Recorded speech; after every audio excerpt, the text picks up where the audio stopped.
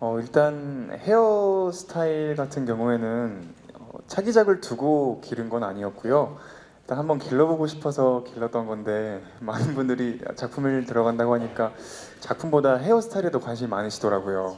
어, 그 긴 머리로 촬- 촬영할 거냐. 일단 근데 아, 로케이션 촬영지가 결정이 되면서 어, 쿠바랑도 그리고 남자친구 김진혁이라는 인물이랑도 잘 어울릴 것 같아서 머리 긴 모습을 남기고 싶은 마음으로 길게 되었고요.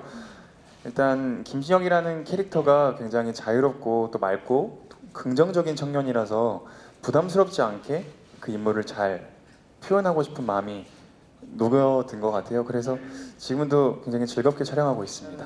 송혜교 선배님과 함께 할 수 있어서 너무 영광이기도 하고 희경 누나께서 사실 잘 챙겨주세요. 잘 맞춰주시고 네. 그래서인지 촬영함에 있어서 처음에는 살짝 어, 어려움이라고 할까요?